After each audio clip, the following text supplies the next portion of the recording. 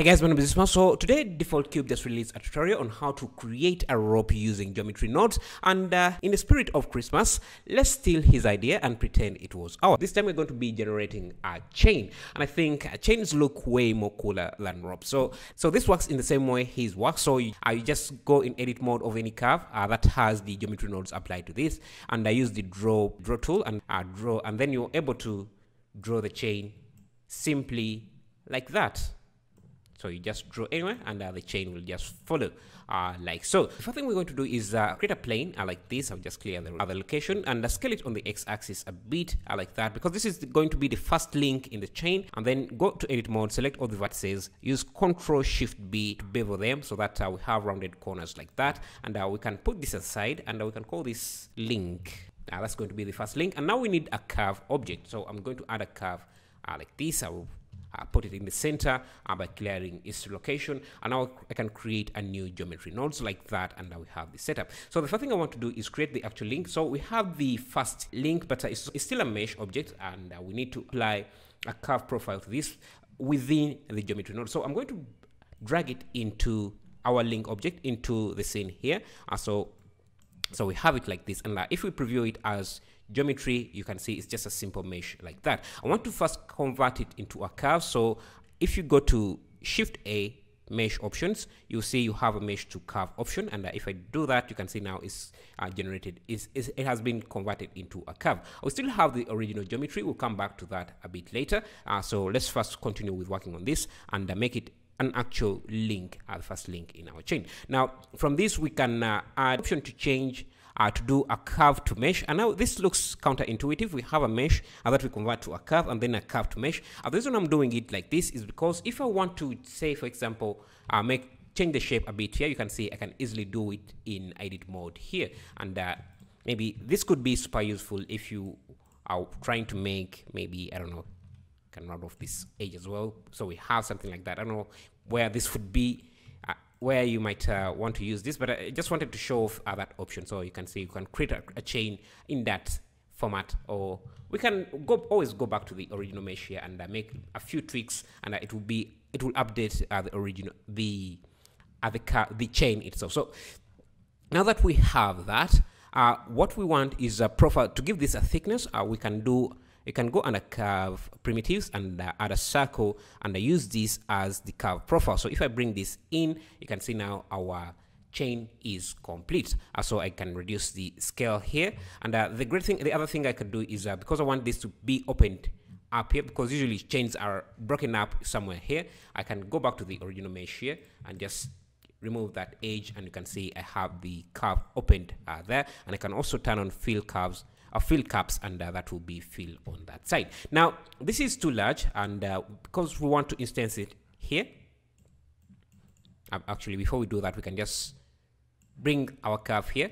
And uh, what we can do is uh, instance these this chain here onto this curve here by uh, going to curves curve to points like this. And you can see we have instanced points on curves. And these points are going to be where our curve, our chain links are going to be instanced. So at every point on this on this curve, we're going to instance uh, the chain we have just created here. And uh, to do that, we need an instance on point. point, and uh, our instances are going to be this uh, this geometry here. So we can bring that in, and you can see we have our geometry, and uh, we can scale it down. We can scale down the the chain links like that, and uh, let me let me go to edit mode here and just draw another curve. Uh, that, that is a bit longer and uh, has more twists. And maybe even just edit it so that uh, it moves up a bit. Now uh, the issue we're having here is that uh, we don't see the curve itself. So what I'm going to do is add uh, geometry join geometry here and bring this original curve in so that we can see the shape of the curve. And you can see that how our curves how our geometry is being distributed on this surface. You can see uh, it's uh, based on the our instances are based on the number of count here. So the more count we have, the more geometry we have. But uh, you see that uh, when you have a lot of geometry, when you have a lot of count or instances and uh, the curve is not long, uh, we get this kind of they get too cluttered in one space and if you have too few uh, then there is a lot of space so instead of using count we can just use length and uh, that means uh, it will keep an even uh, the same distance between each uh, each, each uh, chain each link regardless of the length of the curve so i'm just going to bring this down so that we have something like that now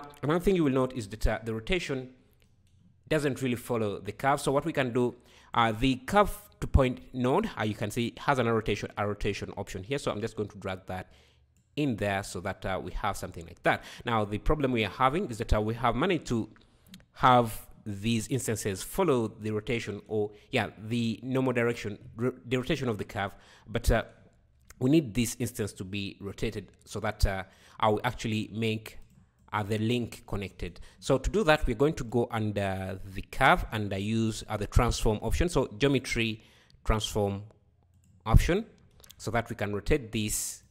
Let's see what direction do we want. Do we want? Yeah, we want to rotate it 90 degrees here. Yeah, something like that.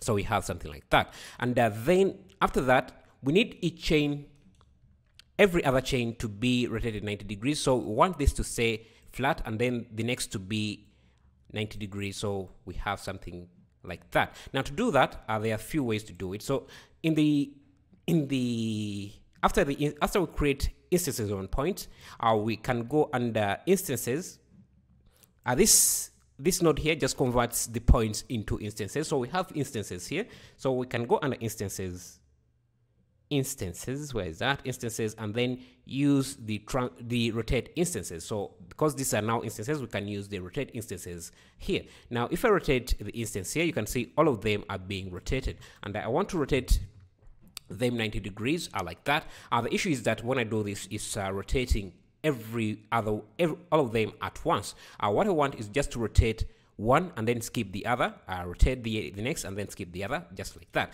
And uh, to do that, we need to use a selection, the selection option here. So if we grab the index, so each in each instance here is given an index from zero to whatever instances you have. So the first one here is going to be index zero and then one, two, three, four, five, up to the last. Uh, so we can grab an index index option and I think uh, we can see it somewhere here. Yeah, I think it's uh, it's, it's this uh, line here. So you can see we have actually it's this here.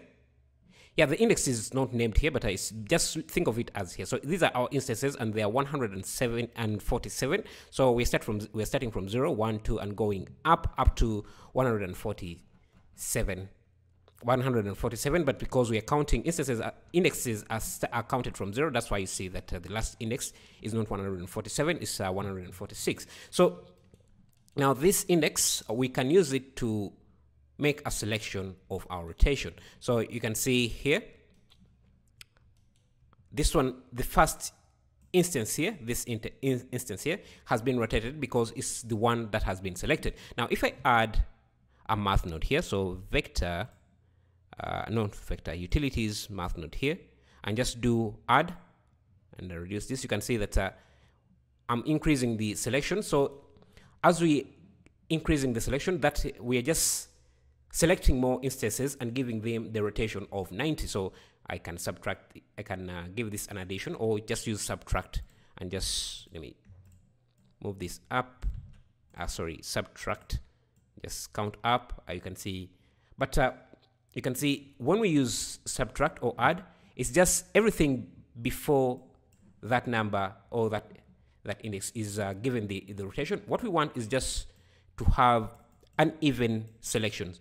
Uh, yeah, even number selection. So uh, the first zero can be can have a rotation. One no, two because it's an even number. Uh, we can't we can give it a rotation, and the best way to do that is by using uh, the modulus uh, function because that uh, that will divide uh, so let me just bring here just bring the modulus or modular I think it's this so divide by 2 so basically what it, this is doing uh, since we have a count of zero an index of 1 2 3 4 5 6 it's uh going in and we're dividing it by 2 to get an even number. So if we divide 0 by 2, I think uh, that's indivisible, but uh, I think it will just assume to be even.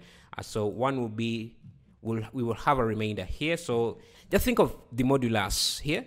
If we divide it by 2, we are just getting an even selection. So every other, we're just getting the even indices here. So, so 0, 2, 4, 6, 8, and uh, so forth like that and uh, we now have our chain. So that's it. Uh, let me clear this node you can see how our chain looks. And uh, now I can draw come into edit mode of this chain. And just draw uh, this is the uh, the node tool. You can just use the curve tool draw and uh, everything will work. I can even I can even uh, write here so sub scribe. Yeah? subscribe. Like that. If you want to reuse this we can uh, set up some uh, inputs here. So for example uh, the input the first input I want to do is uh, be able to change uh, the radius of the chain. So this is our radius of the chain. So we can make the chain thick or thin. So I can use that as an input. Uh, by the way, this uh, node setup is going to be available to my Patreons. Uh, if you want to get it, I'll just go back here to uh, input. I'll call this uh, chain uh, thickness like that. And what else do we want? We want to change, we can change the length between each, between the links. So I'll just do distance, minimum, minimum link distance. What else do we need? So you can also see, you can see in the modifiers how will go we're going to have access to all of these uh, very easily like that. What else can we add in here? Yeah, I think mostly that's it. Yeah, thank you for watching. I'll see you in the next video.